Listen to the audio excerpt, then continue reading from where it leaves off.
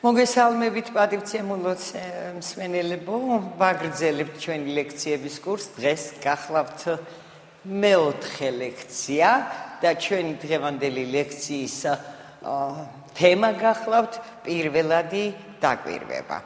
გახსოვთ ალბათ დაკვირდით, რომ ბუღალტრული აღრიცხვის მეთოდის ელემენტებს ჩვენ თითოეულს ცალ-ცალკე განვიხილავდით და დეტალურად შევისწავლებით. აი ეს მომენტი გახლავთ ახლა სწორედ, გახსოვთ რომ ერთ-ერთი მეთოდი ბუღალტრული აღრიცხვისა არის დოკუმენტაცია და ინვენტარიზაცია. დღევანდელი ჩვენი სალექციო თემაც სწორედ ეს გახლავთ. ორი საკითხი იქნება აქ განხილული: ბუღალტრული დოკუმენტები და მეორე ინვენტარიზაცია და მისი როლი ბუღალტრულ აღრიცხვაში. ლიტერატურა არ იცვლება. დავიწყოთ მაშინ პირველი საკითხის განხილვა. ბუღალტრული დოკუმენტები. დოკუმენტაცია ვიცით რომ წარმოადგენს ბუღალტრული დოკუმენტების ერთობლიობას, მათი წარმოებისა და მართვის წესს. დოკუმენტირება ანუ პირველადი აღრიცხვა ეს რაღა არის ჩვენ შევთანხმდით რომ ბუღალტრული აღრიცხვა წარმოადგენს ისეთ მეცნიერებას სადაც შესაბამისი საბუთის დოკუმენტის გარეშე არავითარი ცვლილების ასახვა არ შეიძლება მოხდეს. აქედან გამომდინარე, დოკუმენტირება, ანუ პირველადი აღრიცხვა ტერმინი მე მგონი გასაგებია. თავდაპირველად უნდა არსებობდეს დოკუმენტი, რათა აღირიცხოს მომხდარი ცვლილება ბუღალტრულ აღრიცხვაში. სწორედ ამიტომ ეწოდება მას პირველადი აღრიცხვა და რას ნიშნავს იგი სამეურნეო ოპერაციების მონაცემების ასახვა და გაფორმება უნდა მოხდეს სპეციალური მოხაზულობის ბლანკზე. მე მგონი გარკვეული იქნება უკვე თქვენთვინ რომ დოკუმენტი თავისუფალი ფურცელი არ შეიძლება იყოს. და მას თურმე სპეციალური მოხაზულობა ქონია. და სწორედ აქედან გამომდინარე ეს ხდება შესაბამის ბლანკზე. თავისუფალი ფურცელი კი არა ბლანკი ქვია მას. რაზეც არის განთავსებული მოხაზულობა ამა თუ იმ დოკუმენტისა დოკუმენტი, ანუ საბუთი, სპეციალური ფორმის ბლანკია ბადიცემულებო, რომელზეც აისახება სამეურნეო ოპერაციის შინარსი, მისი მოხდენის თარიღი და სხვა შესაბამისი კომპონენტები, რაც დაკავშირებულია ამ სამეურნეო ოპერაციასთან. დოკუმენტები განსხვავებული შინარსის, ფორმის, მოხაზულობის გახლავთ და ასე შემდეგ. აა საბჭოურ პერიოდში მიუხედავად შინაარსის განსხვავებულობისა, ფორმის განსხვავებულობისა, არსებობდა სტანდარტი, წესი, ნორმა, რომ დოკუმენტები უნდა ყოფილიყო უნიფიცირებული და სტანდარტული.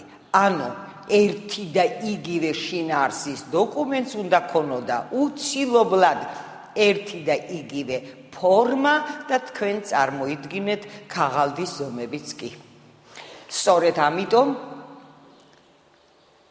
იწოდებოდა ისინი სტანდარტულ დოკუმენტებად. თავისთავად ცხადია საბაზრო ეკონომიკის პირობებში ასეთი აუცილებლობა არ არსებობს, მით უმეტეს დღეისათვის, როდესაც კომპიუტერული ტექნიკა ფართოდ შეიძრა საერთო ჩვენს ცხოვრებაში და მათ შორის ბუღალტრულ აღრიცხვაშიც, ხდება ნებისმიერი ინფორმაციის დამუშავება ელექტრონული ფორმით. ამიტომაც ჩვენ ზოგადად უნდა განვიხილოთ და ვისწავლოთ დოკუმენტის ფორმა და შინაარსი, რით შეიძლება ერთმანეთისაგან განსხვავდებოდეს. თითეულ ცალკეულ დოკუმენტს გააჩნია კითხვა, რომელზეც პასუხი უნდა იქნას გაცემული და ამ კითხვას ეწოდება რეკვიზიტი. მაშასადამე, დოკუმენტებს ნებისმიერს გააჩნია რეკვიზიტები ამ რეკვიზიტებზე, ანუ კითხვებზე შესაბამისი პასუხის გაცემით და დაფიქსირებით ხდება ოპერაციის შინარსის სრული აღდგენა და დაფიქსირება. დოკუმენტები იმის გამო დოკუმენტები მრავლობით რიცხვში ვამბობთ, არა? სიმრავლეა ასეთი დოკუმენტებისა და ეკონომიკური შინაარსის და სხვა საკითხების გათვალისწინებით შესაძლებელია, აუცილებელია დავაჯგუფოთ ისინი, ანუ მოხდეს დოკუმენტების კლასიფიცირება. სხვადასხვა ნიშნების მიხედვით. ეხლა გვაინტერესებს, მაინც რა ნიშნების მიხედვით უნდა დავაჯგუფოთ ეს დოკუმენტები და შეიძლება დოკუმენტები დაჯგუფდეს, ანუ კლასიფიცირებულ იქნეს შინაარსის მიხედვით. დანიშნულების მიხედვით, ასახული ოპერაციის მოცულობის მიხედვით, კონკრეტულ დოკუმენტია თავისთავად ცხადია საუბარი, გამოყენების მიხედვით, შედგენის ადგილის მიხედვით და საღრიცხვო პოზიციის რაოდენობის მიხედვით. მოკლედ განვიხილოთ თითეული მათგანი. შინაარსის მიხედვით დოკუმენტები განსხვავებული იქნება ამ დოკუმენტის დოკუმენტით გაფორმებული ოპერაციის შინაარსიდან გამომდინარე. შინაარსის მიხედვით დოკუმენტი შეიძლება იყოს ფულის მოძრაობასთან დაკავშირებული დოკუმენტები, შრომის ანაზღაურებასთან დაკავშირებული დოკუმენტები, საქონლის ყიდვა-გაყიდვასთან დაკავშირებული დოკუმენტები და ასე შემდეგ. დანიშნულების მიხედვით დოკუმენტები ჯგუფდება განკარგულებითი დოკუმენტები, ახსრულებითი დოკუმენტები, კომბინირებული დოკუმენტები და ბუღალტრული გაფორმების დოკუმენტები. განკარგულებითი ნიშნავს თავისთავად ცხადია იმას, რომ ამ დოკუმენტის წარდგენით ხდება ბრძანება მასზე ასახული ოპერაციის განხორციელების შესახებ. ჩვენ გადავალთ ძალიან ჩქარა დღესვე ამავე ლექციაზე კონკრეტულ დოკუმენტებზე და უფრო ნათელი გახდება მაშინ რომელი დოკუმენტი შეიძლება მიჩნეულ იქნას განკარგულებით დოკუმენტად. ახსრულებითი, ანუ გასასამართლებელი დოკუმენტი. ეს უმეტეს წილად ისეთი დოკუმენტებია, რომლითაც უკვე გაფორმდა ამა თუ იმ ოპერაციის მოხდენა. გასაგებია მოხდენა გაფორმდა უკვე. თქვათ მაგალითად, რომ საწარმო სალაროდან გავეცით უკვე ფული რაღაც დოკუმენტის საფუძველზე. ამ ოპერაციის მოხდენის შემდეგ ეს დოკუმენტი, რომლითაც ფული გაეცით საწარმო სალაროდან, იქცა ახსრულებით გასასამართლებელ დოკუმენტად. კომბინირებული დოკუმენტები ეს ისეთი დოკუმენტებია რომლებიც განკარგულებითი ახსრულებითი დოკუმენტები შინარს ერთობლივად აერთიანებენ და ბოლოს ბუღალტრული გაფორმების დოკუმენტები. ეს დაკავშირებულია სხვადასხვა გაანგარიშებებთან რომლებსაც უშუალოდ ბუღალტერიის თანამშრომლები ბუღალტრები ახდენენ ამა თუ იმ საკითხის, ამა თუ იმ თანხის, ამა თუ იმ შემოსავლის ხარჯის და ასე შემდეგ საერთო ოდენობის განსაზღვრისათვის. მაშასადამე მათ არანაირი სპეციფიკური ფორმა არ ექნებათ, თავისთავად ცხადია, ეს დამოკიდებულია თითეული ბუღალტრის სურვილზე, რა სახით ჭირდება მას ამა თუ იმ გაანგარიშებების გაკეთება. ესეც ცოტა მოგვიანებით საკმაოდ ნათელი იქნება თქვენთვის. მეორე ნიშანი ეს გახლავთ დოკუმენტების დაჯგუფება მოცულობის მიხედვით. მაშა სადამე მოცულობის მიხედვით უნდა დავაჯგუფოთ დოკუმენტები რა ოდენობის რა სიხშირისა და სიმრავლის ოპერაციებს ასახავენ თითეული მათგანი. ერთი კონკრეტული დოკუმენტი ასეთ შემთხვევაში ჩვენ გვაქვს ორი ჯგუფი მოცულობის მიხედვით დოკუმენტების დაჯგუფებისა პატივცემულებო. ეს იქნება რა? ისეთი დოკუმენტი, რომელიცშიც მხოლოდ ერთად-ერთი ოპერაცია არის დაფიქსირებული და სხვა დამატებები და ასე შემდეგ აქ არ შეიძლება მოხდეს. და თავისთავად ცხადია, ეს იქნება პირველადი დოკუმენტი, რომლითაც ფიქსირდება სამეურნეო ოპერაციის მოხდენა და წარედგინება ბუღალტერიას მისი ბუღალტრულ აღრიცხვაში ასახვისათვის. თქვათ მაგალითად, შევიძინეთ მასალა შესაბამისი დოკუმენტი უნდა წარდგეს ბუღალტერიაში, რომ ბუღალტრულ აღრიცხვაში აისახოს ეს ოპერაცია, რომ ნამდვილად შევიძინეთ მასალა და რა გზით, რა წყაროთი მოვახერხეთ ამ მასალის შეცენა. მეორე ჯგუფი ეს არის ნაერთი ანუ კრეფსითი ერთი და იგივე მნიშვნელობის ტერმინებია ნაერთი ანუ კრეფსითი დოკუმენტები. ასეთი დოკუმენტებიც არსებობს. ნაერთი, რომელიც ვერ იქნება ხომ პატივცემულებო პირველადი დოკუმენტები. პირიქით, პირველადი დოკუმენტების საფუძველზე შეესდგება ეს ნაერთი დოკუმენტები. მაგალითად, შევიძინეთ მასალა ასეთი ოპერაცია განვიხილეთ პირველ შემთხვევაში, ხომ? ჩვენ შეგვიძლია მასალების შეძენასთან დაკავშირებული ყველა დოკუმენტების საფუძველზე თქვათ ერთი თვის განმავლობაში შევადგინოთ ნაერთი დოკუმენტი, კრეფსითი დოკუმენტი და თქვათ, რომ დაუშვათ 2011 წლის იანვარში მასალები შევიძინეთ ამდენი ლარის საერთო თანხით. მესამე ნიშანი ეს არის გამოყენების მიხედვით დოკუმენტების დაჯგუფება. აქ შეიძლება დოკუმენტები დავაჯგუფოთ ერთჯერად დოკუმენტებად, ერთჯერად დოკუმენტებად და მაგროვებელ დოკუმენტებად. მე ვფიქრობ, განმარტებაც საჭირო არ არის.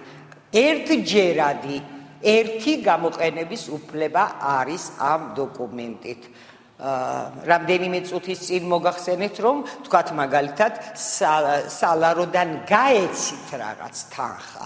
ხომ არ შეიძლება ეს დოკუმენტი რომლითაც სალაროდან თანხის გაცემა გაფორმდა რამდენჯერმე გამოიყენოთ? არა ის კონკრეტულ ოპერაციას კონკრეტულ თანხობრივ განზომილებას კონკრეტულ თარიღს ასახავდა და ერთჯერადი გამოყენებისა არის მაგრამ არსებობს აგრეთვე მაგროვებელი დოკუმენტები. აა იგივე ჩვენი მაგალითი ჩვენს მიერ დაარსებული საწარმო მოვიშველიოთ პროდუქციის პურფუნთუშეულის დასამზადებლად ყოველ დღიურად დაგჭირდებათ ფქვილი დახარჯოთ, რომელიც რომლის გარკვეული მარაგის საწარმოს საწყობში იქნება უცილობლად, არა? და რა ვქნათ? ყოველი ტომარა ფქვილის დახარჯვაზე. ცალკე დოკუმენტები ვაწარმოოთ, მოუხერხებელი იქნება საკმაოდ, ხომ? ასეთ შემთხვევაში ფქვილი ხომ მასალა არის. გამოვიყენებთ მაგროვებად დოკუმენტს. რომელშიც მთელი თვის განმავლობაში ყოველდღიურად ჩავწერთ საწყობიდან რამდენი კილოგრამი თუ რამდენი ტომარა ფქვილი დაიხარჯა პროდუქციის დასამზადებლად. ასეთი დოკუმენტები იქნება მაგრობებადი დოკუმენტები. შემდეგ შედგენის ადგილის მიხედვით დოკუმენტებს ვაჯგუფებთ. შიდა დოკუმენტები, გარე დოკუმენტები. პატივცემულებო, ალბათ მიხვდით ყველანი, რომ თავად საწარმო. ძირითადი რგოლი არის მხედველობაში. და პირველ ჯგუფს მიეკუთვნება ისეთი დოკუმენტები, რომლებიც მოცემულ კონკრეტულ საწარმოში მომზადდა, გამოიწერა, გასაგებია მაგალითად იგივე ფულის მოძრაობასთან დაკავშირებული დოკუმენტები. ეხლა რაზეც საუბრობდით ამ წუთში მასალების ხარჯვასთან დაკავშირებული დოკუმენტები და ასე შემდეგ. მეორე gare დოკუმენტები საწარმოს gare პატივცებულებო მაშასადამე როგორი დოკუმენტი იქნება ეს, რომელიც სხვა რომელიმე საწარმოში, ორგანიზაციაში, დაწესებულებაში მომზადდა, გამოიწერა დოკუმენტი და წარმოდგენილი იქნა ჩვენს საწარმოში. აი ასეთი დოკუმენტები იწოდება gare დოკუმენტები. შემდეგი ნიშანი სააღრიცხვო პოზიციის რაოდენობის მიხედვით გვაქვს ერთ პოზიციური, ანუ ერთ სტრიქონიანი დოკუმენტები და მრავალ პოზიციური, ანუ მრავალ სტრიქონიანი დოკუმენტები. ეს ერთ პოზიციური მხოლოდ და მხოლოდ ერთი ოპერაცია ჩაიწერება. მრავალ პოზიციური, მაგალითად მსგავსია მაგროებადი დოკუმენტებისა, მრავალი დოკუმენტი პოზიცია ჩაიწერება. ერთი ასეთი მაგალითი თუ გნებავთ მრავალპოზიციური დოკუმენტისა. შევიძინეთ ფქვილი გადავიხადეთ მისი მოტანის სატრანსპორტო ხარჯები გადავიხადეთ შესაბამისი გადასახადი. ერთ დროულად მოხდება ეს ოპერაცია. გამყიდველი ვინც იყო ამ ფქვილისა ის გადაგვახტევინებს მთელ თანხას, მაშინ უკვე სამი სტრიქონი გამოგვივიდა, ხო? მრავალ პოზიციური დოკუმენტი იქნება, რომლითაც ეს ოპერაცია გაფორმდება. ეხლა ცოტა რამდენიმე წუთი მადროვეთ და თითეული დოკუმენტის სახელწოდებებზეც ვისაუბრებთ, ეხლა წინასწარ არ მინდა ამაზე საუბარი. შემდეგი საკითხი გადავდივართ უკვე ცალკე კონკრეტულ დოკუმენტებზე. პირველი ეს გახლავთ სალაროს შემოსავლის ორდერი. სალაროს გასავლის ორდერი. მინდა მოგახსენოთ პატივცემულებო, რომ თავად სიტყვა ორდერი ბრძანებას ნიშნავს. მაშასადამე სალაროს შემოსავლის ორდერი ბრძანება ყოფილა რა? ვისადმი? მოლარისადმი. განახორციელოს ამ დოკუმენტით გაფორმებული ოპერაცია. ანუ მიიღოს სალაროში დოკუმენტით დაფიქსირებული თანხა. შევთანხმდეთ რომ სალაროს შემოსავლის ორდერის გარეშე არავითარი თანხის მიღება თუმცა სასიამოვნო იქნებოდა მაგრამ არ შეიძლება. საწარმოში აუცილებლად ყველა თანხასთან მოძრაობასთან დაკავშირებით თუ ის სალაროში უნდა იქნას შეტანილი აუცილებლად უნდა მომზადდეს გამოიწეროს სალაროს შემოსავლის ორდერი უნდა დამეხმაროთ. შინაარსი აღვადგინოთ ამ ორდერისა რა რეკვიზიტები ანუ კითხვები ექნება სალარო შემოსავლის ორდერს ჯერ ერთი სახელწოდება პატივცემულო. უცილობლად. სალაროს შემოსავლის ორდერი ნომერი და ესა და ეს და გადაინომრება ის ყოველდღიურად ყოველი ოპერაციის გათვალისწინებით.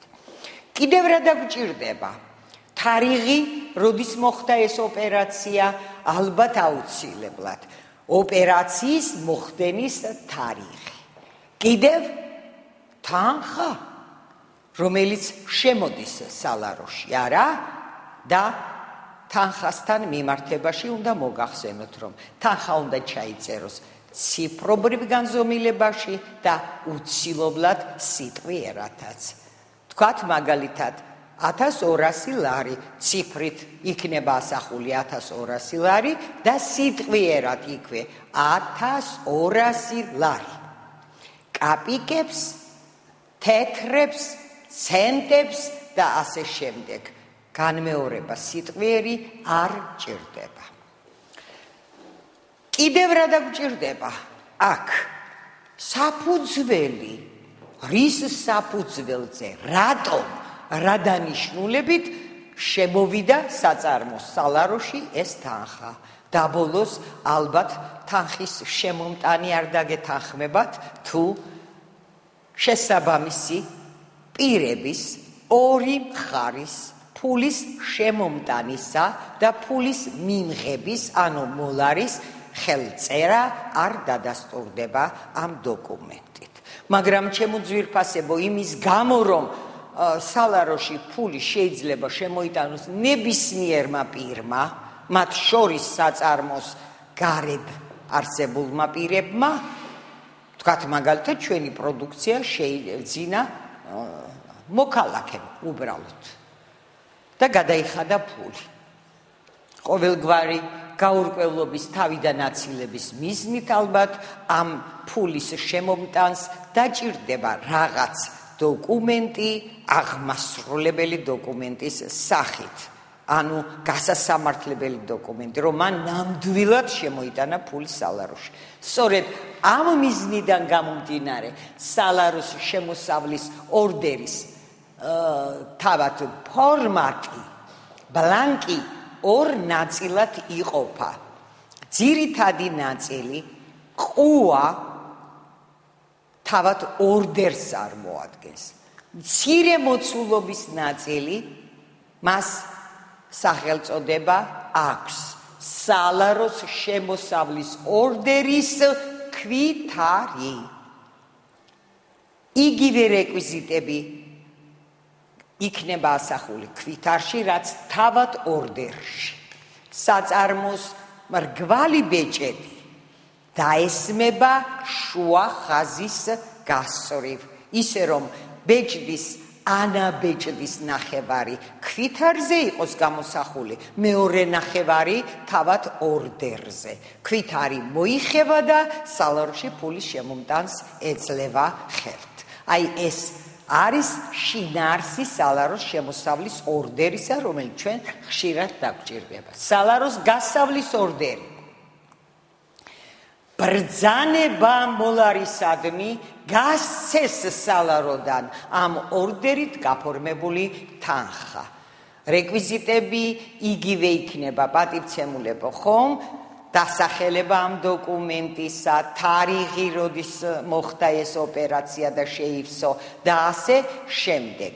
მაგრამ რაც შეეხება ხელის მოწერას ორი მხარისა, ფულის მიმღებისა და ფულის გამცემის, ანუ მოლარის მიერ ეს მხოლოდ და მხოლოდ გასავლის ორდერზე მოხდება ორივე პირის ხელწერის დაფიქსირებით. და ფულის მიმღების დამადასტურ პიროვნების დამადასტურებელი დოკუმენტის თანხლებით და აღნიშნით ამავე დოკუმენტზე. ამის გამო სალაროს გასავლის ორდერ სხვა ქვითარი და ასე შემდეგ სხვა დამატებითი რამ არ სჭირდება. შემდეგი დოკუმენტი არის ჩეკი. ვიცით პატივცემულებო ალბათ ჩვეულებრივი ყოველდღიურობიდან ეხლა დავაზუსტოთ, რომ ჩეკი საბანკო დოკუმენტია. ჩეკით მოხდება ბანკიდან ნაღდი ფულის გამოტანა.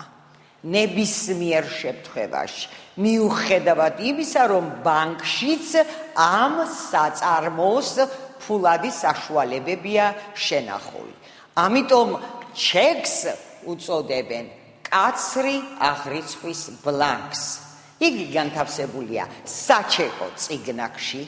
ეს საჩეკო ციგნაკები იყიდება ბანკებში და მისი ღირებულება შემოიფარგლება მხოლოდ ამ ციგნაკის დაბეჭდის ღირებულებით. თითოეულ საჩეკო ციგნაკში რამდენიმე ჩეკია განლაგებული 50, 100 სურვილის ამებრ შეიძენს ამას მეწარმე და ჩეკიც ორი ნაწილისაგან შედგება. ყუა ცირე მოცულობისა, თავად ჩეკი ძირითადი მოცულობისა. ჩეკში იწერება ჩეკი ნომერი. ის ბეჭდურის სახით არის ჩაწერილი და ნომრის მითითება ხელით ან მანქანით საჭირო არ არის. ანუ გადანომრილია ჩეკის თითეული გვერდი. ესეც მიანიშნებს მკაცრი აღრიცხვაზე ჩეკებისა. იწერება შემდეგ თარიღი ოპერაციის მოხდენისა. თანხა ციფრით და აუცილებლად მისთვის სპეციალურად განკუთვნილ დაშტრიხულ სტრიქონზე. სიტყვიერად. იწერება აგრეთვე ჩეკის მეორე გვერდზე. დანიშნულება ამ თანხისა. რა დანიშნულებით გამოგვაქ ბანკიდან ჩეკი? რატომ? ჩვენ ხომ უკვე შევთანხმდით რომ ქვეყნის ცენტრალური ბანკი საქართველოსთვის ასეთი გახლავთ ეროვნული ბანკი არა მარტო ანხორციელებს ფულთან დაკავშირებულ ოპერაციებს არამედ ანხორციელებს ქვეყნის ფულად საკრედიტო სისტემას კურირებს და მასშესადამე ფულის ბრუნვაზეც და სხვა საკითხებზეც პასუხისგებელია. მხოლოდ სწორედ ამიტომ მასზე იწერება დანიშნულება აუცილებლად რატომ ნახდი ფული გჭირდება და რისთვის რატომ გამოგვაქვს ბანკიდან ეს ნახდი ფული. შემდეგ მეორე გვერდზე მიჩეკისა მითითებულია საცნობა რომ მონაცემები პირისა ვისაც გამოაქვს ბანკიდან ჩეკი და თავისთავად ცხადია აუცილებლად ჩეკს უნდა კონდეს ხელმოწერები. ვისი? ეს დამოკიდებულია პატივცემულებო საწარმოს დაარსებისას რა განაცხადი გააკეთა მეწარმეთა კანონის მიხედვით ბანკში მოცემულმა კონკრეტულმა საწარმომ და ვინ წარადგინა ფულად ოპერაციებთან დაკავშირებით პასუხისმგებელ პირად. ეს შეიძლება იყოს საწარმოს ხელმძღვანელი, ეს შეიძლება იყოს ბუღალტერი და ასე შემდეგ ნებისმიერი პირი თავად საწარმოს მიერ წარდგენილი. რომელთა ხელწერა ანუ ფაქსიმილე სწორედ საწარმოს დაარსებისას დაფიქს და ბანკში ანგარიშის გახსნისას რა თქმა უნდა დაფიქსირდება ბანკში. ფაქსიმილეს ხელმოწერის შეცვლის უფლება ნებისმიერ შემთხვევაში არ შეიძლება. თუმცა ეს კატეგორიული განცხადება არ არის. იგივე წესით შეუძლია ყველა საწარმოს შეცვალოს ფაქსიმილეს წარმომდგენი პირი ბანკში თუ ეს მისი გადაწყვეტილება არის. ასეთი განაცხადის წარდგენისა და შესაბამისად გაფორმების გარეშე სხვა პირი ჩეკს ხელს ვერ მოაწერს. კიდევ უფრო მეტი ზუსტად უნდა იყოს დასული ხელმოწერის ნიმუშზე არსებული პარამეტრები. წინააღმდეგ შემთხვევაში ბანკი თანხას არ გასცემს. ეს სავალდებულო მოთხოვნა არ არის, იმიტომ რომ ჩეკი არსებობს სახელობითი და უსახელო, ანუ ეგრეთ წოდებული წარმომდგენზე არსებული ჩეკი. ფართოდ რა თქმა უნდა სახელობითი ჩეკი გამოიყენება, თუმცა არ შეიძლება აუკრძალოთ, როდესაც ეს ნება დართულია usახელო ჩეკის წარდგენაც. ასეთ შემთხვევაში ფულის გამომტანის ვინაობა არ არის მითითებული ჩეკზე და შესაძლებელია მან გაურკვევლობები გამოიწვიოს იმის გამო რომ დაიკარგოს და ნებისმიერი პირმა შეიძლება ისარგებლოს ამითი და ასე შემდეგ. შემდეგი დოკუმენტი ეს არის ხელფასის უწყისი. ალბათ გასაგებია ბადიცებულებო რომ ხელფასის უწყისი თითეული ამ საწარმოს პერსონალის შრომის ანაზღაურებასთან იქნება დაკავშირებული. ჩვენ ამაზე მოკლედ ადრეც ვისაუბრეთ, შესაძლებელია აუნაზღაურდეს ხელფასი თითეულ თანამშრომელს ან დახარჯული დროის, ან შესრულებული სამუშაოს. მიხედვით და ასე შემდეგ, თუ თქვენ გექნებათ სურვილი გააგრძელოთ თქვენ ცოდნა გაიღრმაო და გააგრძელოთ ბუღალტრული აღრიცხვის შესწავლა ფინანსურ აღრიცხვაში ამ დეტალებს განვიხილავთ, მაგრამ ხელფასის საანგარიშწორებო უწყისი 4 ძირითადი ნაწილისაგან უნდა შედგებოდეს ალბათ დამეთახმებით ყველა. რა იქნება ეს?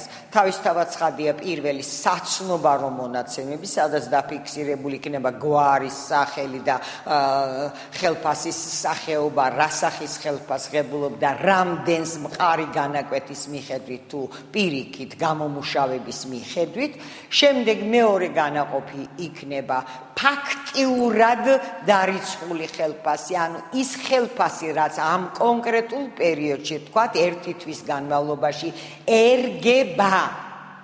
თითეულ მომუშავეს. შემდეგი განაყოფი იქნება დაკავებები ხელფასიდან დადგენილი წესების მიხედვით რა თქმა უნდა და ბოლოს ხელზე გასაცემი თანხა რომელიც იქნება სხვაობა რაც ერგება ხელფასი პერსონალს. დარიცხული ხელფასი რაც არის მას გამოკლებული დაკავებები რაც ამ ხელფასთან არის დაკავშირებული შემდეგი დოკუმენტი გახლავთ ანგარიშ ფაქტურა. ანგარიშ ფაქტურა. ანგარიშ ფაქტურაც პატივცემულებო. კაცრი ანგარიშსწორების ბლანკია.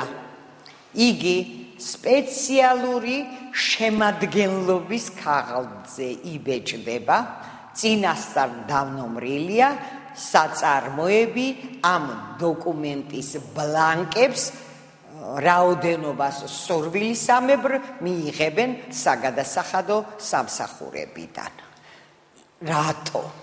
იმიტომ რომ ანგარიშ ფაქტურა გახლავთ ის დოკუმენტი, რომელმაც შეიძლება დააფიქსიროს თითეული კონკრეტული საწარმოს შემოსავლები, ხარჯები და ასე შემდეგ. მაშა სადამე კავშირი, პირდაპირი კავშირი აქვს დაბეგრასთან საგადასახადო აღრიცხვაც ამ დოკუმენტით უნდა მოწესრიგდეს. რა თქმა უნდა რიგი გადასახადების მხრივ და არა ყველა გადასახადთან მიმართებაში. შემდეგი დოკუმენტი ეს არის უკაცრავად კოპირება არ მოხდა საგადასახადო დავალება. საბანკო დოკუმენტია პატივცემულება. ესე იგი, დავალება ეძლევა ვის ბანკს, რაზე ამ დავალებაში ასახული ოპერაციის განხორციელებაზე. მეწარმე, საწარმო აძლევს დავალებას ბანკს. ამ დოკუმენტში აღრიცხული თანხა გადაურიცხოს შესაბამის პირს. იურიდიულს თუ ფიზიკურს. რატომ მაგალითად ვინ იქნებიან ესენი? შესაბამისად შეიძლება უპირველეს ყოვლისა იყოს საგადასახადო სამსახურები, თითეული ცალკეული გადასახადის მიხედვით საწარმოში არსებული დავალიანების გასტუმრების დაფარვის თვალსაზრისით. შესაძლებელია იყოს მომწოდებლები, რომლებსაც მოწოდებული საქონლის ღირებულება უნდა გადაუხადოთ და ასე შემდეგ. შემდეგი საკითხი გახლავთ როგორც შევთანხმდით ინვენტარიზაცია და მისი როლი ბუღალტრულ აღრიცხვაში. აა, როდესაც მეთოდებს ვიხილავდით ბუღალტრული აღრიცხვისა, ჩვენ მაშინ შევთანხმდით მე მგონი, ხო? რომ ინვენტარიზაცია ბუღალტრული აღრიცხვის მეთოდის ერთ-ერთი ელემენტიაო. და ვთქვით მიზეზი რატო? იმიტომ რომ სააღრიცხვო ჩანაწერები, რომელსაც თელი ამ საანგარიშგებო პერიოდის განმავლობაში ასრულებდა ბუღალტერიის თანამშრომლები, შესაბამისად პერიოდულად ჯერ ერთი საჭიროებს აუცილებლად გადამოწმებას და მეორე შეიძლება არ ემთხვეოდეს რეალობას.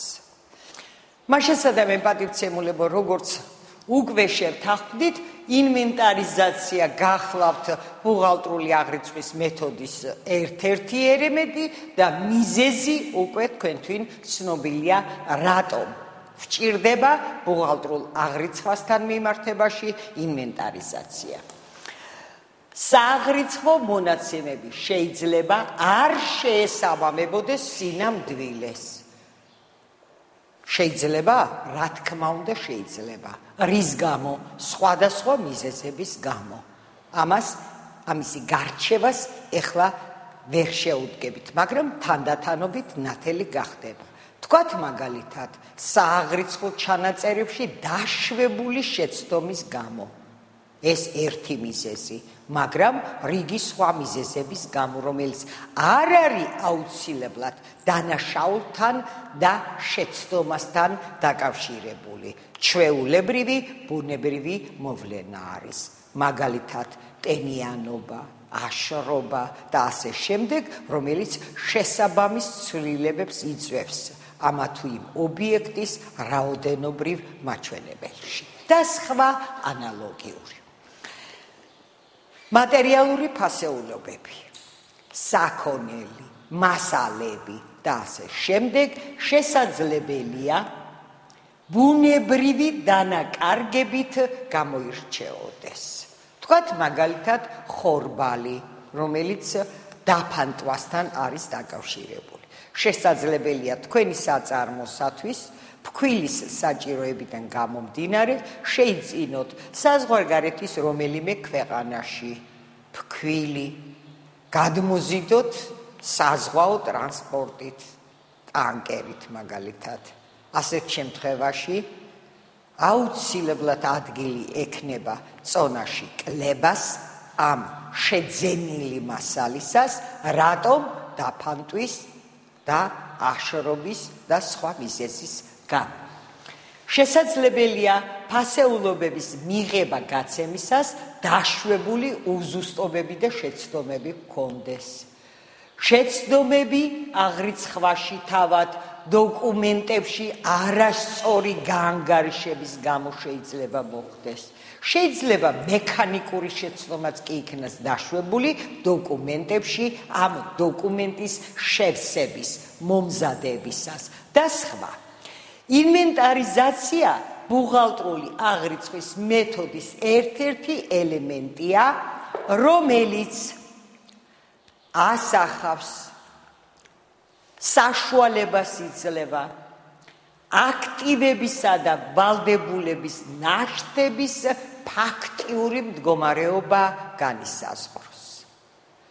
ვიმეორებ საშუალებას წარმოადგენს აქტივებისა და ვალდებულებების ფაქტიური ნაშთების, ფაქტიური მდგომარეობის დადგენისა კონკრეტული თარიღისათვის.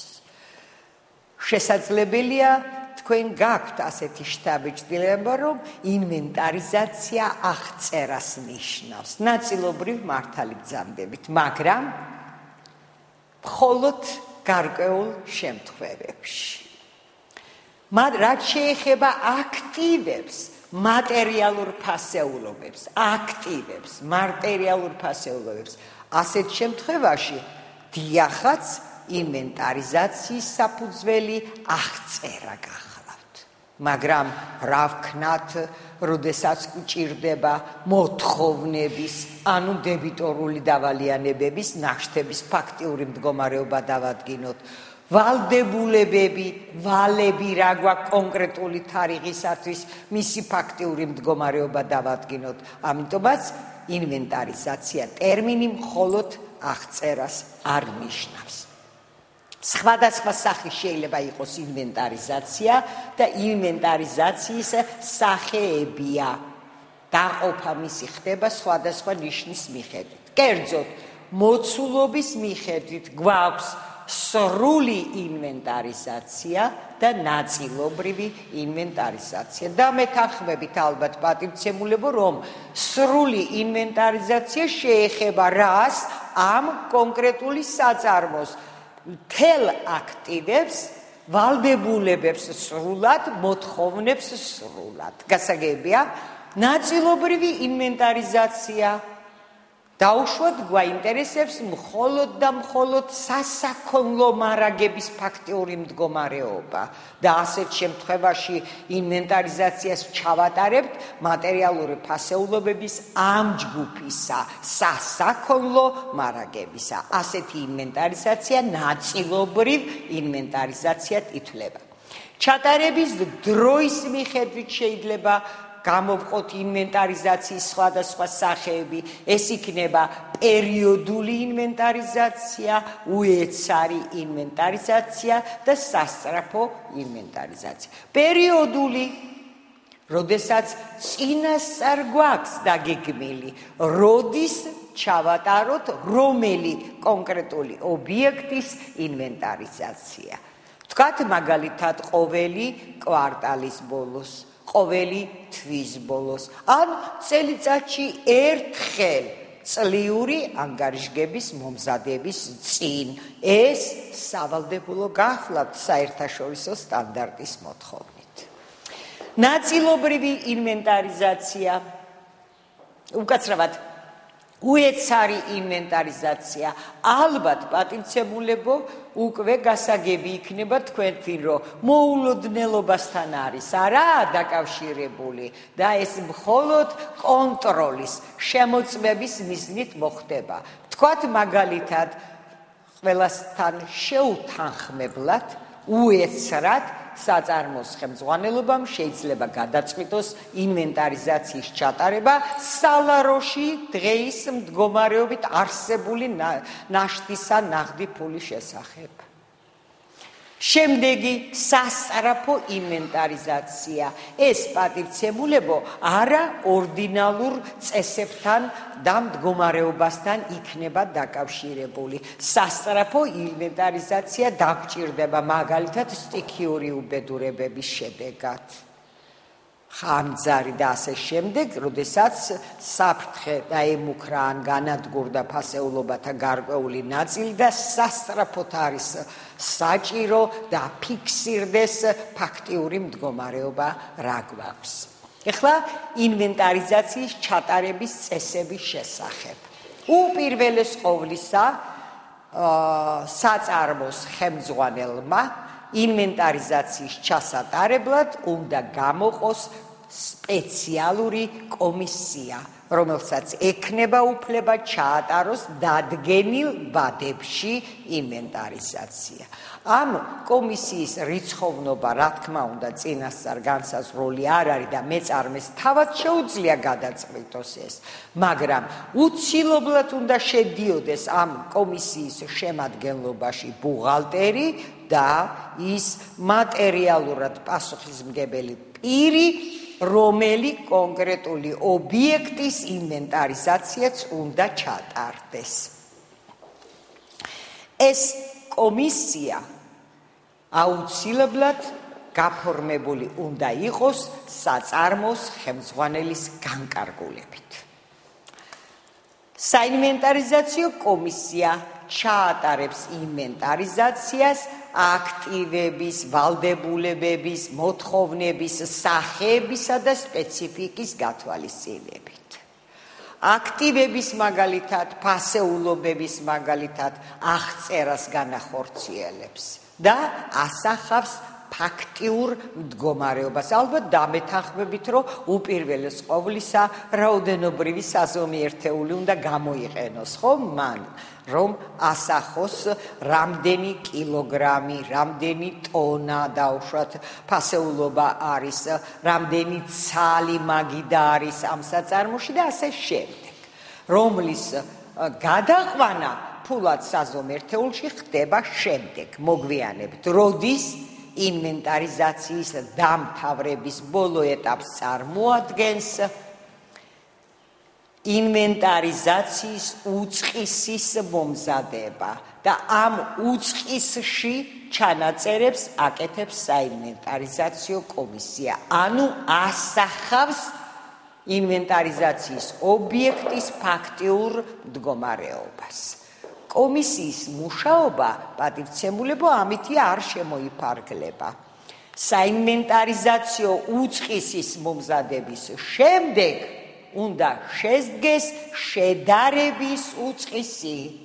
რასთან უნდა შევადაროთ? საინვენტარიზაციო უწყისში ხომ ფაქტიური მდგომარეობა ასახული, ობიექტისა კონკრეტული თარიღისათვის. დავშვათ თქვათ წლის ბოლოსათვის 31 დეკემბრის მდგომარეობით. რას უნდა შეუდაროთ სააღრიცხვო ჩანაწერებს? ბუღალტერიაში არსებულ სააღრიცხვო ჩანაწერებს. მაშასადამე შედარების უცხის სამი სვეტი უცილებლად ექნება თანხობრივი განზომილებისა. რა? ერთი სააღრიცხვო ჩანაწერების მონაცემები, მეორე ინვენტარიზაციის მონაცემები და ამ ორი თანხის შედარების შედეგად გამოიყვანება მათ შორის განსხვავება. მესამე სვეტში, რა თქმა უნდა. აქ შესაძლებელია ადგილი კონდეს შემდეგ მომენტებს. ფაქტიური ჩანაწერები, სააღრიცხვო მონაცემები ერთმანეთის თანხვედრი იყოს. ანუ ბუღალტრულ აღრიცხვაში სწორად არის ყველაფერი ასახული, რაც დადასტურდა ინვენტარიზაციის მონაცემებით. და აქ დამატებით რამ ასასახავი აღარ რჩება. შესაძლებელია სააღრიცხვო ჩანაწერები მეტი იყოს ინვენტარიზაციის მონაცემებზე. ან პირიქით სააღრიცხვო ჩანაწერები ნაკლები იყოს ინვენტარიზაციის მონაცემებზე. ორი ეს უკანასკნელი აუცილებლად დამატებით ასახვას მოითხოვს ბუღალტრულ აღრიცხვაში. განსხვავება უცილებლად უნდა აისახოს. იმის გამო რომ ფინანსურ ანგარიშგებაში რეალური ინფორმაცია უნდა იყოს ასახული, საღრიცხვო ჩანაწერები დაყვანილ უნდა იქნას ინვენტარიზაციის მონაცემებზე. პირველი შემთხვევა ავიღოთ თქვათ მაგალითად საქონლის ნაშთი ბუღალტრულ აღრიცხვაში ასახულია 1000 ლარით მეტი ვიდრე გამოვლინდა ინვენტარიზაციის მონაცემებით ზუსტად როგორ უნდა აისახოს ცოტა მოგვიანებით გეტყვით მაგრამ ბუღალტერიის ჩანაწერებში 1000 ლარით უნდა შემცირდეს საქონლის ნაშთი და დავიდეს იგი ინვენტარიზაციის მონაცემებზე. თქვათ მაგალითად ინვენტარიზაციის მონაცემებით მეტია საქონელი საწყობში 31 დეკემბრისათვის ვიდრე აღრიცხულია.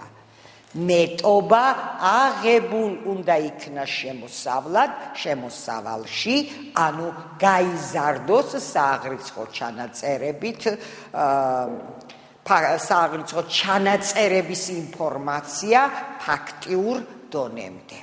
თქვენ შესაძლებელია შეკითხვა გაგიჩნდეთ აქ, კი მაგრამ როგორ ნაკლებია, როგორ მეტია, ვინ არის დამნაშავე? ეს პატივცემულებო შემდგომი მომენტია.